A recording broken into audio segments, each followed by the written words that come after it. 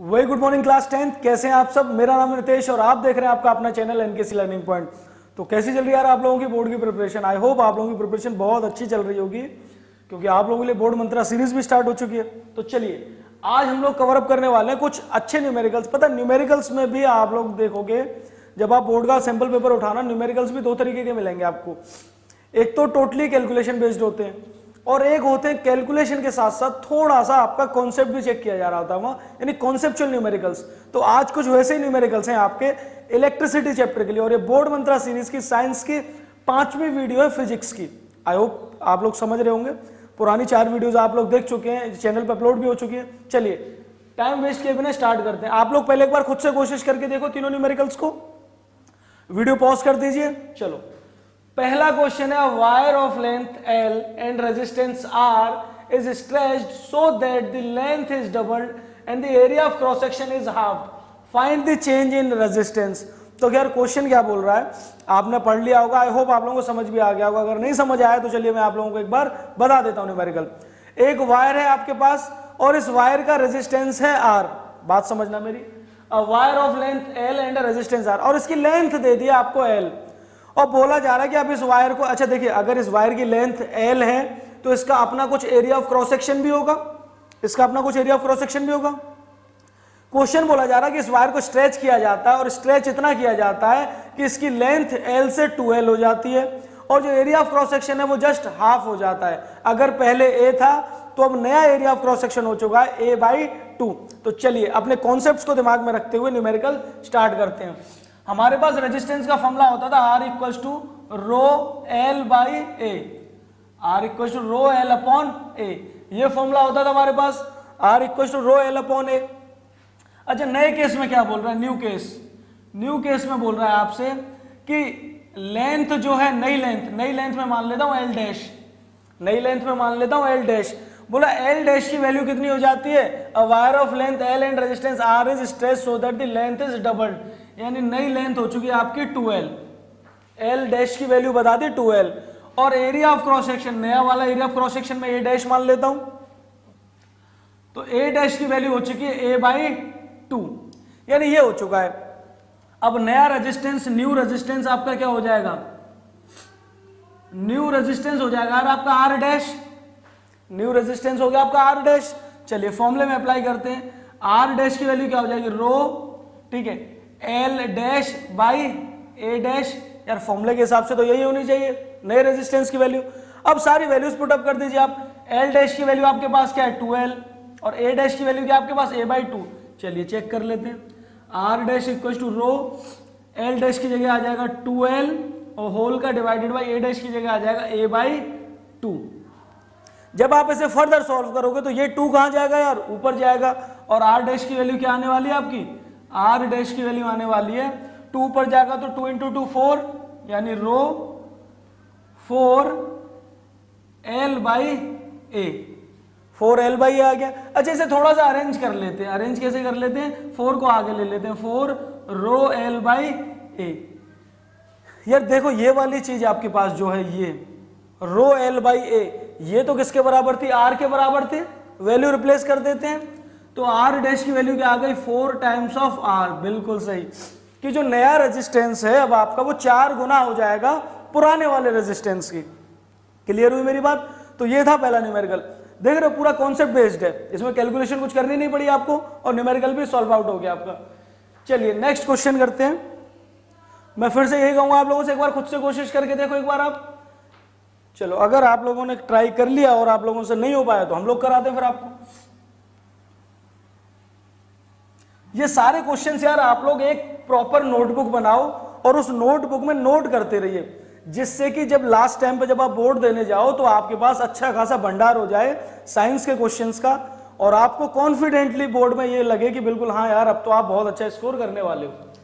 Question है कि nichrome wire has a resistance of ten ohm एक नाइक्रोम का वायर दे दिया आपको और बता दिया उसका रेजिस्टेंस कितना है? टेन ओम है। और बोला जा रहा find the resistance of another nichrome wire whose length is three times and area of cross section is four times the first लगभग लगभग पहले जैसा ही न्यूमेरिकल है। क्वेश्चन कह रहा है कि एक नाइक्रोम वायर है, आपके पास मान के चलो, ये वाला नाइक्रोम वायर है। और इसका आपको रेजिस्टेंस दे दिया टेन ओम बता दिया कि ये वाला जो वायरस का रेजिस्टेंस है आपका टेन ओम बोला, एक और नाइक्रोम का वायर है, एक और दूसरा नाइक्रोम का वायर है, लेकिन उसकी कंडीशन दे दी कुछ। क्या कंडीशन दे दी? Find the resistance of another nichrome wire whose length is three times लेकिन ये वाला वायर जो है पुराने वाले से तीन गुना लंबा है ये वाला वायर ठीक है?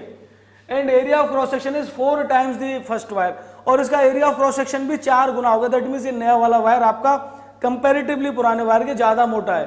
क्लियर है? चलिए कंडीशन बनाते हैं अपनी। वही बाई क्वेश्चन की शुरुआत कुछ ऐसे ही होगी, आपको कंडीशन फॉर्म करनी होगी।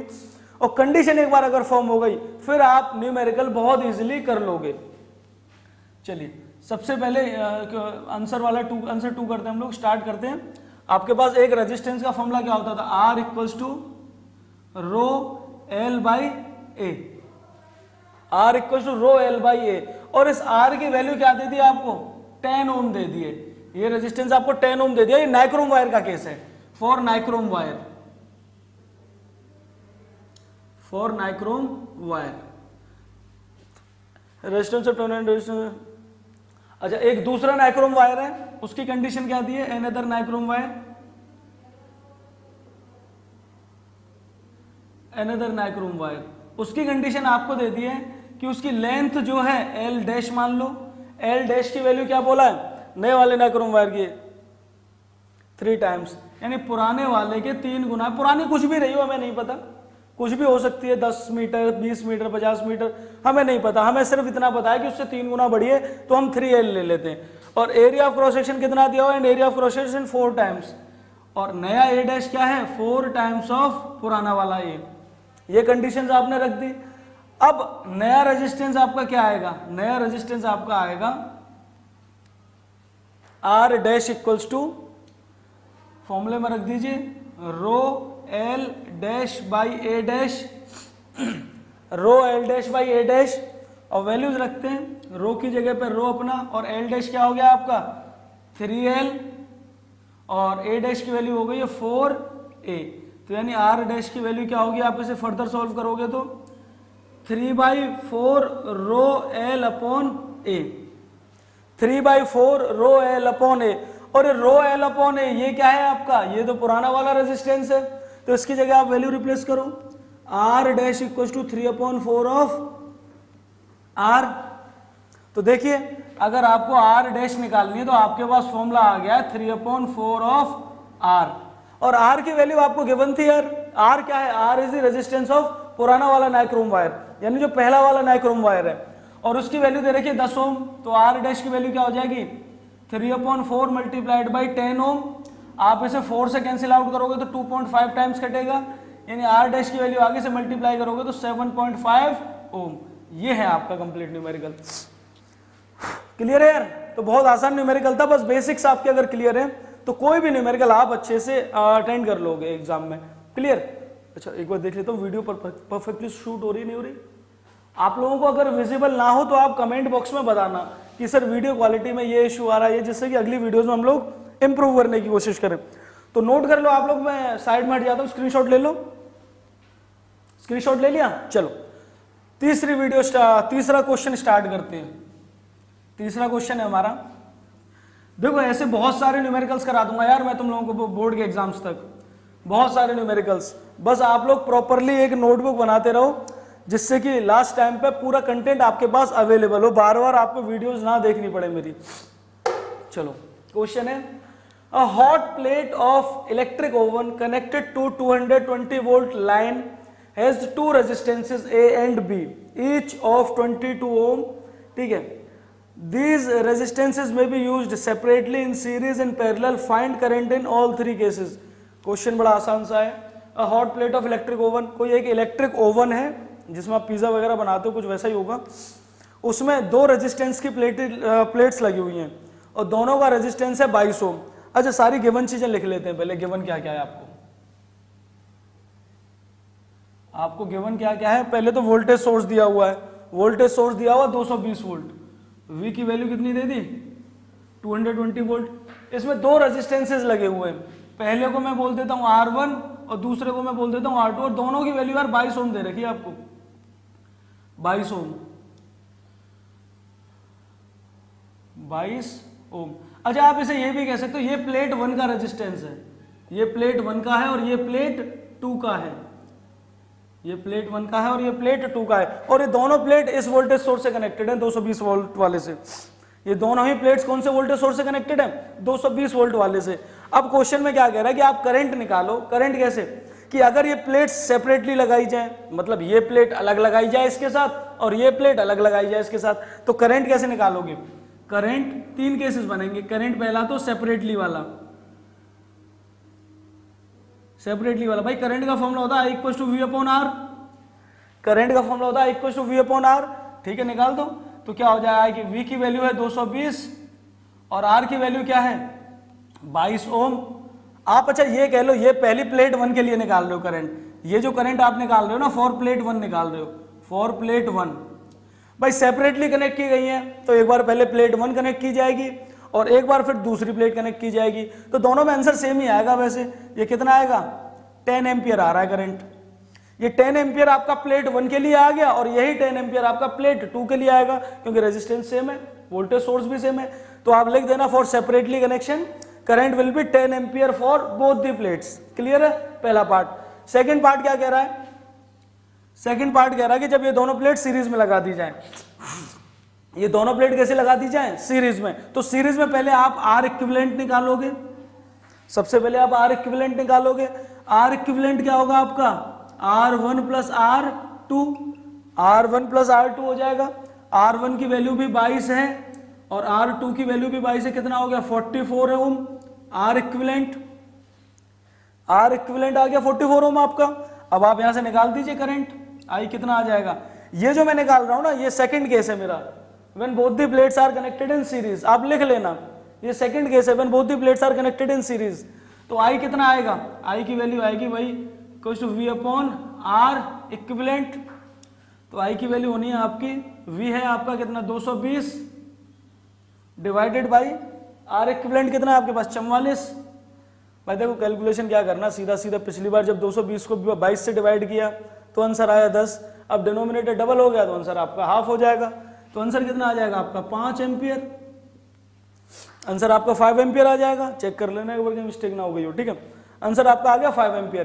तो ये दोनों केसेस आप नोट कर लो एक बार, फिर मैं रब करके तीसरे केस के लिए तरफ़ बढ़ता हूँ।